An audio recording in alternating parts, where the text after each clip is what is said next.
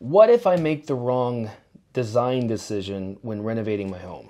Hey, this is Scott with Dreamworx Roofing Lehigh Valley. I get that question a lot. I understand it. I'm actually sitting in my living room going through that myself because I'm going to be renovating the outside of my home. I bought this home about six months ago and it needs new siding, it needs new roofing, it needs a whole new refresh. Uh, and it's a little bit intimidating. Uh, I feel for my clients a little bit more because you have to go, look, I'm going to look at this for the next, who knows, 20, 25 years. And maybe a sample board looks a certain way, and this color shingle on this board looks great when I hold it up to the light, but then when it's actually on the roof, am I going to like it? Is it going to match? You know, especially if I'm doing multiple different lines. I'm doing roofing, I'm doing siding, I'm doing my window trim. How do I make sure it's going to look right? Um, so I wanted to kind of walk you through a little bit, um, maybe away from some of that fear. You don't have to necessarily be the best designer in the world. You don't have to be a professional uh, home designer. Uh, I'm definitely not. Um, but what we can do is we can leverage technology. So we've partnered with a company called Hover 3D. They're fantastic. They can give you aerial measurements just from photos and a full 3D rendering, which I'm actually going to show you. I'm sitting here looking at the outside of my home. So this is a full 3D rendering of my home. It looks uh, looks pretty rough on the outside. It's a house from the 1960s, but as you can see, we're doing a full refresh. There's a new roof with a blackout trim package, all the fascia, all the gutters, the drip edge. Um, and then we've got PVC windows that we're going to be putting in, PVC trimmed windows.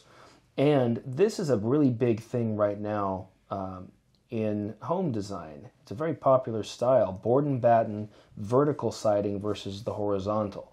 And this stuff is fantastic. Great wind resistance, great impact resistance in case someone throws a softball against the side of the house or, um, you know, we get a hailstorm, things like that.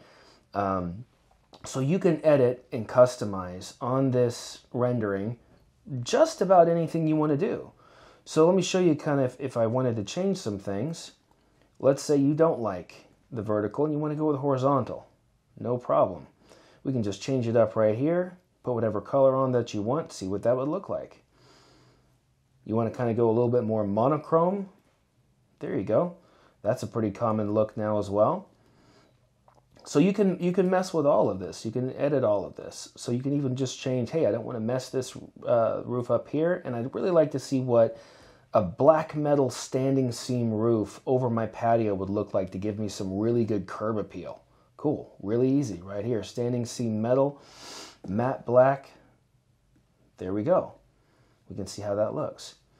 So this is a rendering that we can provide for free to our clients. Um, we'd love to help you out with this. This is super helpful to me to be able to visualize uh, what I'm looking at doing, and nothing's 100%. It's still a computer screen, it's not the actual finished product, but it's pretty darn close. The other thing that we can do as well with Hover is fantastic. If you want to take the next step, they'll even do photorealistic uh, renderings that look like an actual photograph of the finished product. That's also available. So once again, Scott with Dreamworx Roofing Lehigh Valley, and if you're worried about making the wrong decision for your roofing, your siding, your gutters, your home renovation projects, we got your back. We've got some technology that'll help you take a breather, take some time, make sure it's exactly how you want to spend your money. Because it's your house, it's your finances, you need to be sure. So we'll see you on the next video. Hope that's helpful.